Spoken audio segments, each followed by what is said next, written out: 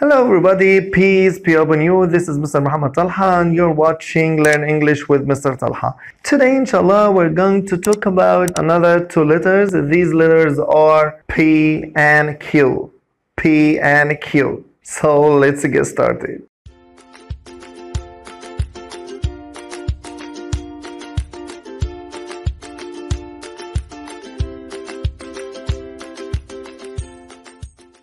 Let's start with the letter B. So the letter is P, but the sound is P, P, P. And take care, it's a voiceless sound. I don't use my vocal cords when I produce this sound. ما بستعملش الأحبال الصوتية لما أجي أطلع الصوت ده. P, P, P. So let's see some words which have this sound at the beginning. P, P. Pen. pen, p, p, pail, p, p, pail, p, p, pear, p, p, pear. So let's see how to write the uppercase P and the lowercase p on the lines. So let's start with the uppercase P. تعال نشوف ازاي هنكتب حرف ال P capital or ال uppercase P on the lines. على السطور دي. قلت مهم جدا. سواء لمدرسين سواء لآباء سواء لأطفال إنهم يتعلموا أو يعلموا أولادهم إزاي نكتب الحروف على السطور عشان يبقى خط الأولاد واضح وكويس ويتعودوا بعد كده إزاي يكتبوا على سطرين أو ثلاثة أو أربعة أو حتى لو سطر واحد. تعال نشوف حرف ال P capital إزاي هكتبه على السطور. I'll tell my child لازم أقول للطفل بتاعي that I'll start at the first line من عند السطر الأول هبدأ اهوت يبقى هيقف على السطر الأول وينزل straight line خط مستقيم للسطر الثالث. يبقى أنا هبدأ من الأول للثالث وبعدين curved line خط منحني لغاية السطر الثاني يعني من الأول للثاني. وبكده أنا أكون كتبت ال P capital. Again تعال نشوفها مرة تانية from the first line to the third line من الأول للثالث. وبعدين ال curved line بتاعي هيكون from the first to the second. من الأول للثاني يبقى كده P capital طيب on the three lines على الثلاث سطور يبقى هو ال P capital هيبقى على الثلاث سطور from the first line I'll go straight down then a curved line from the first to the second again from the first line من السطر الأول I'll go straight هنزل مستقيم للسطر الثالث وبعدين a curved line from the top to the second line يبقى كده P capital طيب لو هو على سطرين لو هو على سطرين هقول للابني أو للطفل عندي إن أنا لازم أبدأ من فوق السطرين. هنا above the two lines أبدأ من فوق السطرين وأنزل على السطر الثاني لازم أنزل على السطر الثاني وما أنزلش تحت السطر الثاني don't go under the line. وبعدين له ال curved line من أول فوق لغاية السطر الأول. يعني ما اعملش هنا مثلا حتة هنا وخلاص لأ. أنا ملتزم بسطور. طيب أهوت from above من فوق from the top أنزل to the second line. أوعى تنزل تحت. وبعدين ال curved line to the first line بالمنظر ده.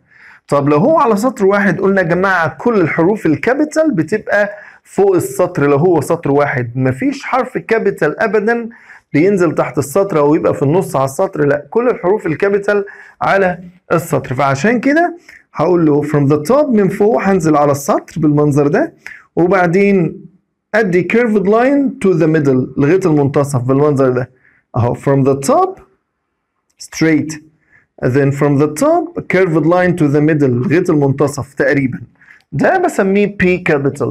So what about P small? طب حرف ال P small. هكتبه إزاي؟ قال لي شكل ال P capital. بس الناس هنا بتخطأ لأن بيكتبوا شكله بالظبط. هقول لك لا الوضع على السطور مختلف. It's different from P capital. P small goes under the line. بينزل تحت السطرين. يعني لو أنا عندي أربع سطور هنا هبدأ من السطر الثاني from the second line وانزل على السطر الرابع بالمنظر ده يبقى خلي بالك البي من الحروف اللي بتنزل تحت السطر. وهنا بعد ما نخلص إن شاء الله هنعرف إن في خمس حروف بينزلوا تحت السطر منهم ال P فعشان كده حولوا من السطر الثالث للسطر الرابع من الأول so من الثاني sorry لغاية الرابع وبعدين هنزل ال curved line هيكون من الثاني للثالث بالمنظر ده. Again from the second line to the fourth line and the curved line from the second to the third like that. طب هنا قال لي هنا هبدأ من السطر الثاني from the second line. وانزل بقى تحت الثلاث سطور بالمنظر ده. وال curved line هيكون من الثاني للثالث بالمنظر ده. أهو.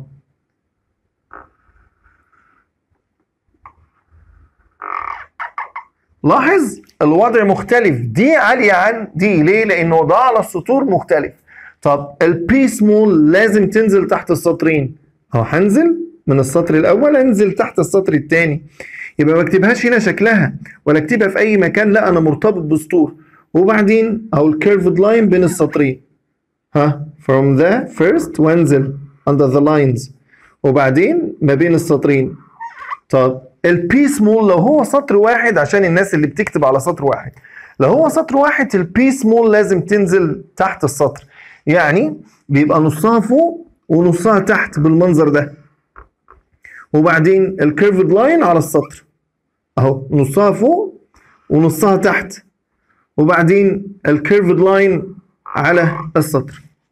It's P capital P small. This is the way we write P capital P small on the lines or the uppercase P and lowercase p on the lines. Our second letter today is Q. Q. So the letter is Q but the sound is qua qua qua. وعايزك تلاحظ ان حرف الكيو في معظم الاحيان بيجي وراه حرف اليو فدايما تلاقي النطق بتاعهم كده كوا كوا كوا so let's see some words which have uh, this sound at the beginning. Qua, qua, queen. Qua, qua, queen. Qua, qua, quilt. Qua, qua, quilt. Qua, qua, quill. Qua, qua, quill. So let's see how to write the uppercase Q and the lowercase q on the lines. Let's start with the uppercase Q. I think it's very easy to write the uppercase Q because it's like O. يعني حرف الكيو شكل بالظبط حرف الاو ولكن هيزيد عليه حاجة بسيطة هو diagonal line يعني خط مايل في المنتصف أو يمة اليمين. تعال نشوف how to write Q capital on the lines.